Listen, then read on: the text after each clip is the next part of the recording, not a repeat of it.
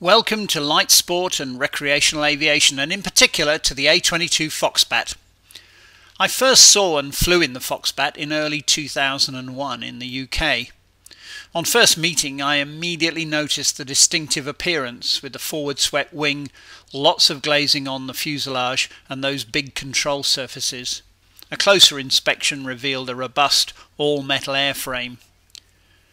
Getting in the cabin was easy there are big doors which hinge upwards, no sticks to climb over, and side by side seating. Once inside, I really noticed the huge, airy cabin. I'm over six foot two tall and more than 90 kilos, and my shoulders were clear of the closed door on one side and of the instructor on the other. Then came the test flight.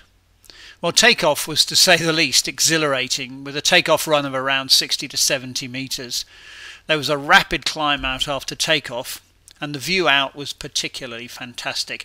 I noticed too that there was no need to duck my head down to look under the wing, and the Foxbat has a surprising turn of cruise speed around 100 knots. All too soon we were landing in less than 100 metres of ground roll.